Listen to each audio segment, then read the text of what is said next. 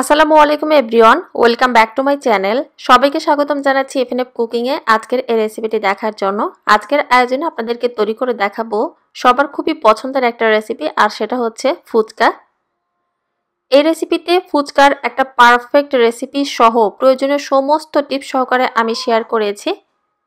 কারণ অনেক সময় ফুচকাটা তৈরি করার পর ভাজার সময় এটা ফুলকো হলেও যখন এটা ঠান্ডা হয়ে যায়, ঠান্ডা হয়ে যাওয়ার পর এটা নরম হয়ে যায় প্রাথমিক অবস্থার মতো এটা আর মুচমুচে থাকে না। তো সেই সমস্ত টিপস সহকারে সহজভাবে এই রেসিপিটি দেখিয়েছি। যাতে করে যে কেউ এই ফুচকাটা ঘরেই সহজেই তৈরি করে নিতে পারেন। আশা করছি রেসিপিটি আপনাদের কাছে ভালো লাগবে। রেসিপিটি ভালো লাগলে প্লিজ ভিডিওতে একটা লাইক দিতে ভুলবেন না। প্রথমে ফুচকার জন্য একটা ডো মেখে নিতে হবে। তো দিয়ে দিচ্ছি এখানে থ্রি ফোর্থ কাপ সুজি। আর ছোট দানাদার যে সুজিটা আছে, আমি সেটা নিয়েছি। তারপর দিয়ে দিচ্ছি এখানে থ্রি ফোর্থ কাপ ময়দা।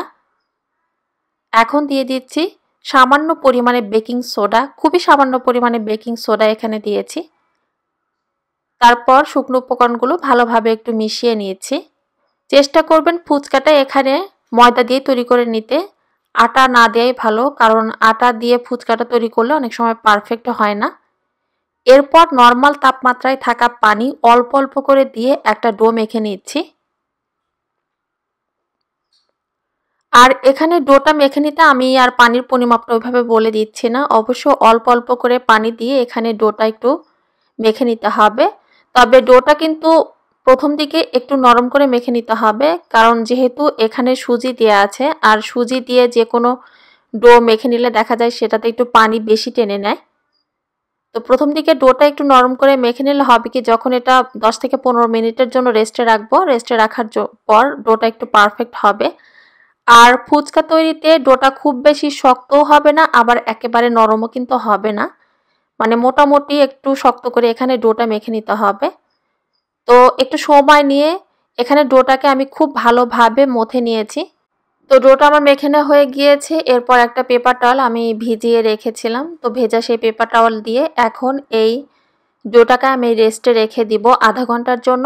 তো ডোটা আধা ঘণ্টা রেস্টে থাক, এরই ফাঁকে ফুচকার জন্য তেঁতুলের টকটা আমি রেডি করছি। আর এখানে আমি তেঁতুল নিয়েছি আর তেঁতুলগুলো শুকনো ছিল জন্য আগের রাত্রে পানি দিয়ে ভিজিয়ে রেখেছিলাম নরম হওয়ার জন্য। এখন এই তেঁতুলের মাঠ থেকে তেঁতুলের বীজটা আমি তুলে ফেলে দিব।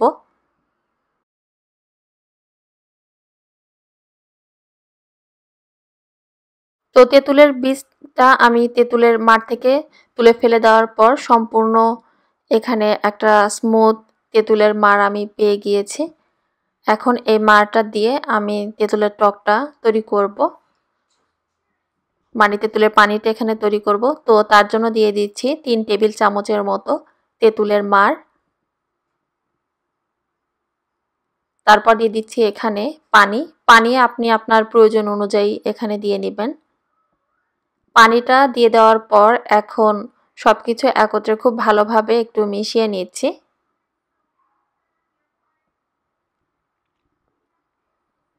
তারপর দিয়ে দিচ্ছি এখানে এক টেবিল চামচের মতো চিনি। আর চিনিটা এখানে ডিপেন্ড করছে তেঁতুলটা কতটা টক তার উপর। লবণ দিয়ে দিচ্ছি এখন স্বাদ মতো। তারপর দিয়ে দিলাম এখানে বিট লবণ স্বাদ মতো বা এক চা চামচ। দিয়ে দিচ্ছি ভাজা জিরার গুঁড়ো এক চা চামচ। তারপর দিয়ে দিচ্ছি এখানে চটপটির মশলা দেড় চা চামচ। শুকনো মরিচ আমি একটু হাত দিয়ে গুঁড়ো করে নিয়েছি, যেটাকে চিলি ফ্লেক্স বলা হয়, সেটা দিয়ে দিলাম।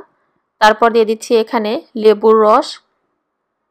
এখন এই লেবুর রসটা দিয়ে দেওয়ার পর সব কিছু চামচ দিয়ে খুব ভালোভাবে একটু মিশিয়ে নিচ্ছি। তো সব কিছু একটু ভালোভাবে মিশিয়ে নিলেই ফুচকার জন্য তেঁতুলের পানিটা রেডি হয়ে যাবে। তো তেঁতুলের পানিটা রেডি হয়ে গিয়েছে। এখন এটা আমি সাইডে রেখে দিচ্ছি। তারপর চলে যাচ্ছি ফুচকার জন্য। ভেতরের পুরটা রেডি করতে। এখানে দুটা বেশ বড় সাইজের মতো আলু আগে থেকে আমি সেদ্ধ করে খোসা ছাড়িয়ে নিয়েছি এবং হাত দিয়ে একটু ম্যাশ করে নিয়েছি। তারপর দিয়ে দিচ্ছি এখানে হাফ কাপের মতো ডাল, সেদ্ধ ডাল এখানে আমি নিয়েছি। আপনারা চাইলে এখানে চটপটির যে ডাবলি ডাল আছে সেটাও কিন্তু দিতে পারেন। এখন দিয়ে দিচ্ছি ফ্রেশ ধনিয়া পাতা কুচি। আপনি আপনার স্বাদ অনুযায়ী এখানে দিয়ে নেবেন। তারপর দিয়ে দিচ্ছি এখানে পেঁয়াজ কুচি, কাঁচামরিচ কুচি দিয়ে দিলাম এখানে। কাঁচামরিচ কুচিটা দিয়ে দেওয়ার পর এখন দিয়ে দিচ্ছি স্বাদ মতো কিছুটা লবণ। লবণটা দেওয়ার পর এখন দিয়ে দিয়েছি বিট লবণ। আপনি আপনার স্বাদ অনুযায়ী এখানে দিয়ে নেবেন।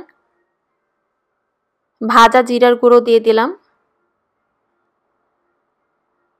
চটপটির মশলা দিয়ে দিলাম।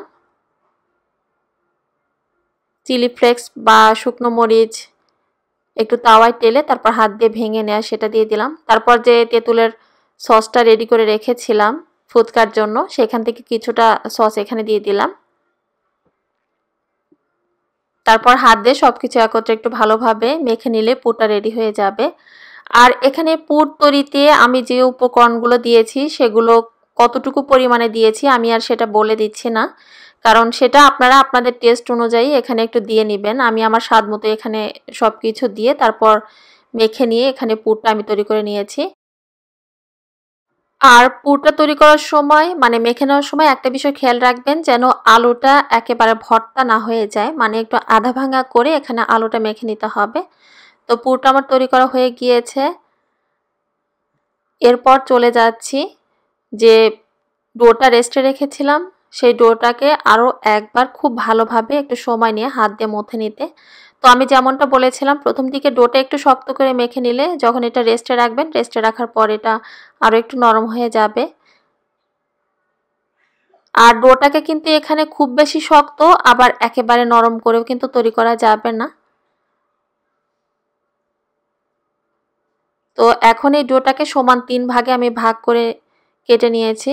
দুটা ভাগ আবার সে ভেজা কাপড় দিয়ে ঢেকে রাখলাম, তারপর একটা ডো দিয়ে এখন একটা রুটি বেলে নিচ্ছি।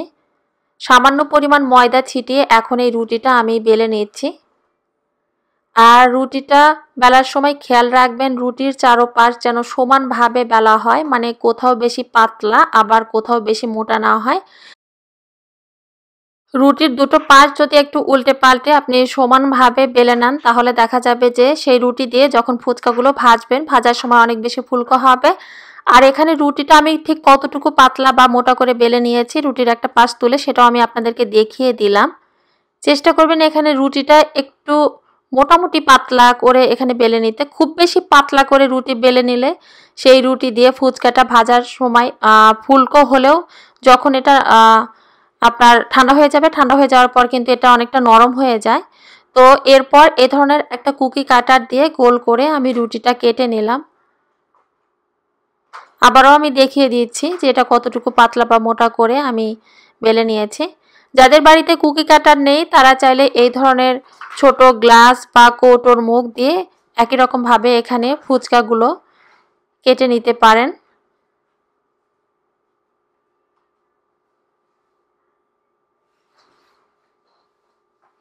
আর ফুচকার এখানে ডোটা তৈরি করার সময় কিন্তু আমি লবণ দেইনি। আপনারা চাইলে লবণটা দিতে পারেন, তবে আমার কাছে মনে হয় ফুচকার ডো তৈরি করার সময় লবণ দিলে ফুচকাটা ঠান্ডা হয়ে যাওয়ার পর নরম হয়ে যাওয়ার একটা চান্স থাকে। তো সেই জন্য এখানে আমি আর লবণটা দেইনি।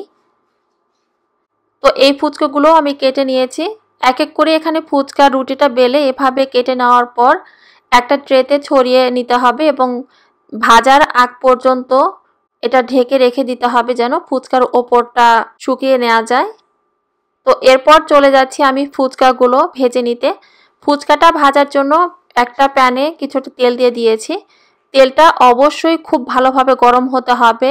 তেলটা যদি গরম না হয়, সেক্ষেত্রে আপনি তেলের ভেতরে ফুচকা দিলে কিন্তু এটা আর ফুলকো হবে না। পারফেক্ট ফুচকা তৈরি করার সময় এখানে তেলের তাপমাত্রাটা অনেক বেশি গুরুত্বপূর্ণ। কারণ এখানে তেলটা যদি খুব ভালোভাবে গরম হয়, প্রত্যেকটা ফুচকা আপনি যখন তেলের ভেতর দিবেন, দেখবেন সঙ্গে সঙ্গে এটা ফুলে যাচ্ছে। তো এখানে আমি যতগুলো ফুচকা তেলে দিয়ে ভেজেছি, প্রত্যেকটা ফুচকায় কিন্তু ফুলকো হয়েছে। প্রথম দিকে দু একটা ফুচকা এরকম ফুলকো নাও হতে পারে, যদি তেলের তাপমাত্রাটা কম থাকে। তো দেখুন এখানে প্রত্যেকটা ফুচকায় কিন্তু ফুলকো হয়েছে। এখন চুলার আঁচটা মিডিয়াম থেকে সামান্য পরিমাণ কমিয়ে দুটো পাশ একটু সময় নিয়ে গোল্ডেন কালার করে আমি ফুচকাগুলো ভেজে নিচ্ছি। আর একটু সময় নিয়ে ফুচকাগুলো ভাজতে চেষ্টা করবেন, এতে করে ফুচকার বাইরের কোটিংটা অনেক বেশি মুচমুচে হয়। তো পাশে যে ফুচকাগুলো আমি ভেজে নিয়েছি অলরেডি ভাজা হয়ে গিয়েছে।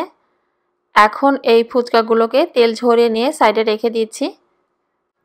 এরপর বাকি যে ফুচকাগুলো আছে, সবগুলো এখানে আমি একই রকমভাবে ভেজে নিব। আর এই ফুচকাগুলো আমি যে গ্লাস দিয়ে কেটে তৈরি করে রেখেছিলাম, সেগুলো দিয়ে এখানে ভেজে নিয়েছি। তো এই ফুচকাগুলো কিন্তু দেখতে পাচ্ছেন সবগুলো একই রকমভাবে ফুলকো হয়েছে। তো এই ফুচকাগুলো ভাজা হয়ে গিয়েছে, তেল ঝরিয়ে নিয়ে এখন এগুলোকেও তুলে নিচ্ছি। সবগুলো ফুচকা এখানে একই রকমভাবেই আমি ভেজে নিয়েছি। তো ফুচকাগুলো ভাজা হয়ে গিয়েছে। আর এখানে ফুচকাটা ঠান্ডা হয়ে যাওয়ার পর এটা মুচমুচে কতটুকু হয়েছে বা নরম হয়ে গিয়েছে কিনা সেটাও আমি আপনাদের বোঝার সুবিধার্থে দেখিয়ে দিব।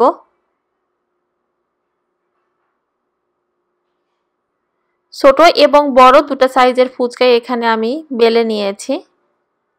তো আপনারা আপনাদের পছন্দ মতো ভাবে এটা বেলে নেবেন।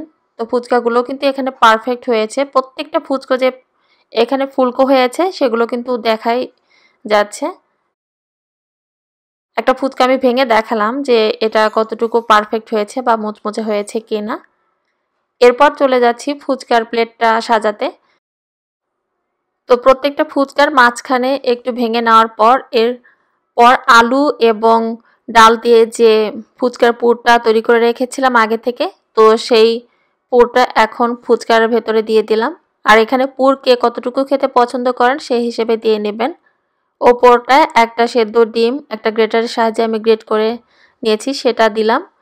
তারপর দিয়ে দিচ্ছি কিছু ধনিয়া পাতা কুচি, পেঁয়াজ কুচি। আপনারা আপনাদের পছন্দ মতোভাবে এটা সাজিয়ে নেবেন। আর সার্ভ করার আগে এখন যে টকটা তৈরি করে রেখেছিলাম, সেই টক দিয়ে দিলাম। তেঁতুলের মারটা দিয়ে দেওয়ার পর ফুচকাটা খাওয়ার জন্য একদম রেডি হয়ে গিয়েছে। আর এটা দেখতে যতটুকু লোভনীয় হয়েছে, খেতেও কিন্তু ভীষণ মজার হয়েছে। প্রত্যেকটা ফুচকাই কিন্তু এখানে পারফেক্টভাবে তৈরি করা হয়েছে। আশা করছি রেসিপিটি ভালো লেগেছে। যারা নতুন আছেন, আজকের এই রেসিপিটি তাদের উপকারে এসেছে। সবাই ভালো থাকবেন। আমাদের সবার জন্য দোয়া করবেন। আল্লাহ হাফেজ।